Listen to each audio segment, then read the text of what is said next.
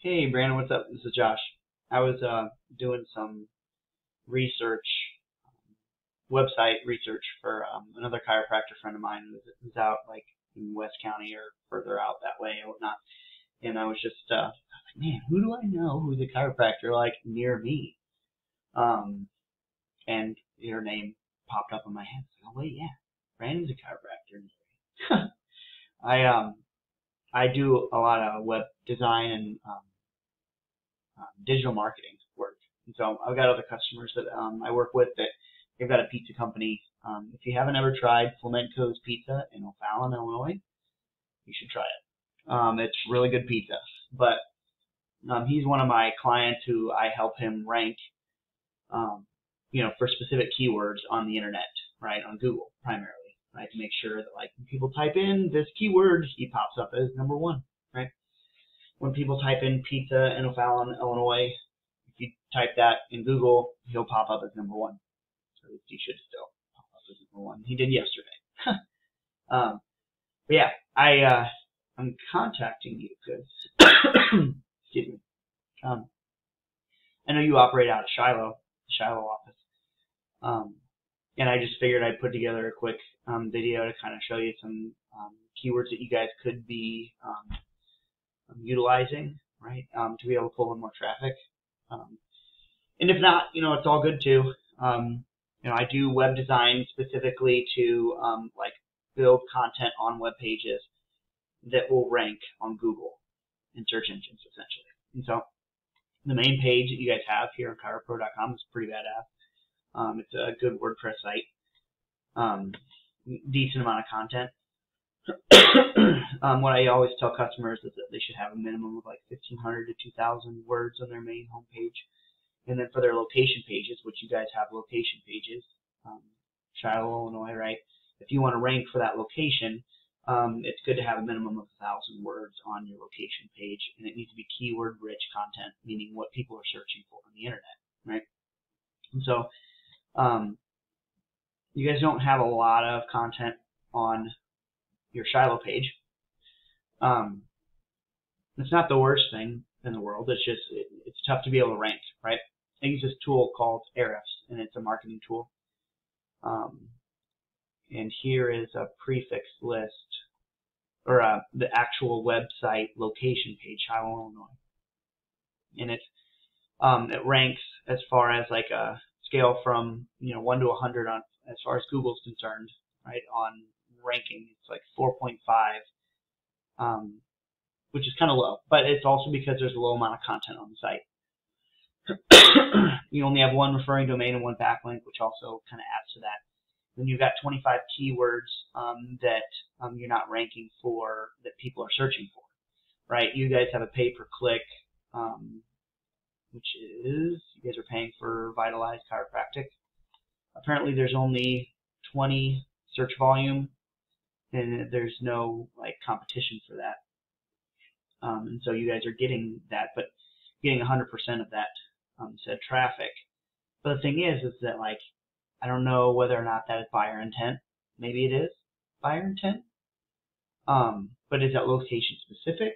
You know, because this vitalized chiropractic means that like somebody in um, you know another state could be searching for that too, right? Um, and so I kind of look at these things and be like, okay, well, wait a minute. Like, why why spend money on that to rank for those keywords when you could spend money on other things, like just ranking a keyword and not having to spend on Google Ads. Google Ads are predatory, in my opinion. I think they're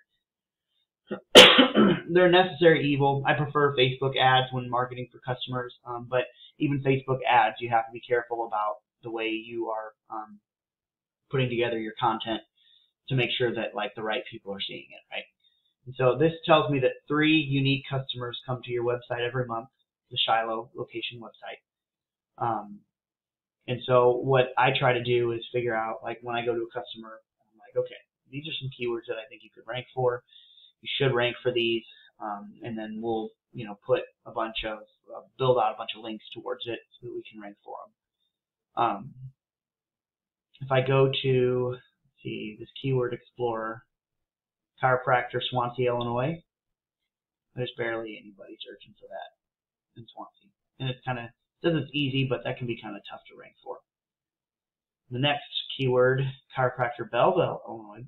See, Belleville has a large population. It's 45,000 people in Belleville. Excuse me. And um, the thing is, is that like um, you guys are close enough physically to Belleville that you could rank for those keywords in Belleville as well. I know you guys are on the map pack locally, the Google the Google Map Pack, which is good.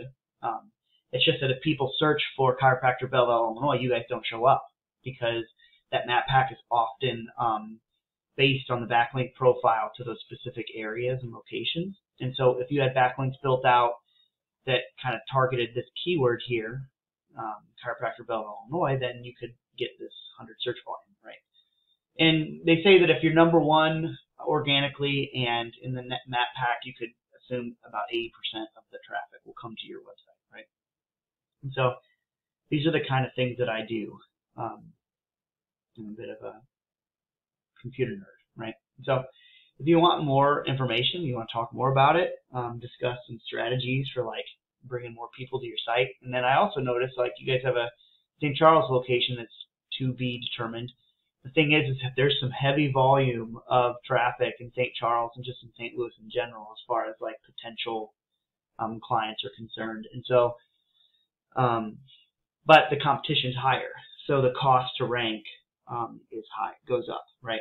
And so, I've I've got some clients that I'm working with that you know we work out on a um, percent basis basis. Like, okay, this um, you know 10, 15 percent or whatever of sales go towards the marketing um, backlink and you know, profile building. And so um, it's that sort of relationship that I have with different customers to be able to like get them ranked so that the top people that everyone searches for, right? Somebody searches chiropractors, chiropractor Swansea, Illinois, right? These three come up right? Swansea Chiropractic, and then or, these are this is the map pack. This is organic listings, right? I shoot for organic listings first. Once you can get somebody a number one in organic listing, it's a lot easier to get them in the map pack. Um, and so ChiroPro is not on here, but if you think about it, like you guys are close enough to Swansea that you should be ranking for this, right? I don't know how many people are searching. I mean, well, we do know, right? chiropractor Swansea, Illinois has a low search volume. So I don't know how much I would spend to rank for that.